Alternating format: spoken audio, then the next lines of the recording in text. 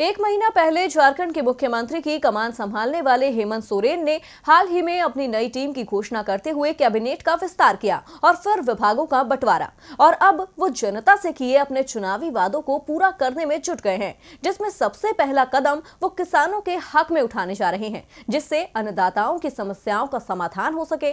तो क्या फैसला लेने वाली है महागठबंधन सरकार? इस रिपोर्ट में देखिए। झारखंड में महागठबंधन ने विपक्षियों के सारे अरमानों पर पानी फेरते हुए सूबे की सत्ता हासिल की, जिसके बाद से बीजेपी नेता बौखलाए हुए हैं। यही कारण है कि वो सरकार पर तंज कस रहे हैं। हाल ही में मंत्रिमंडल विस्तार में हो रही देरी को लेकर विपक्ष ने हेमंत सोरेन पर कटाक्ष किया था तो वहीं अब राज्य सरकार विपक्ष के हाथ ऐसा कोई मौका नहीं देना चाहती, जिससे महागठबंधन पर सवाल उठाए जा सके।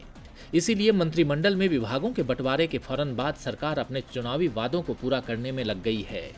सरकार में सहयोगी कांग्रेस सबसे पहले कृषि ऋण माफ़ी की घोषणा पर अमल कराना चाहती है।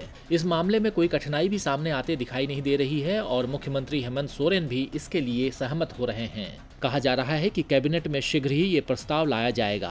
प्रस्ताव कृषि विभाग का होगा और इसके मंत्री भी कांग्रेस कोटे से बने हैं। पैसे का इंतज़ाम करने के लिए वित्त विभाग भी कांग्रेस के कोटे में है। कुल मिलाकर इसमें कोई अड़चन नहीं है। कांग्रेस संगठन इस बात को लेकर बहुत ही संवेदनशील रहा है। छत्तीसगढ़ में जिस प्रकार किसानों को लाभ पहुँचाया गया, वही मॉडल दिखाकर झारखंड में भी वोट मांगे गए थे और नतीजा ये रहा कि महागठबंधन को जीत हासिल हुई। अब कांग्रेस पार्टी चाहती है कि किसानों को किए गए वादे पूरे होने चाहिए। पार्टी की ओर से मंत्रियों पर दबाव भी है।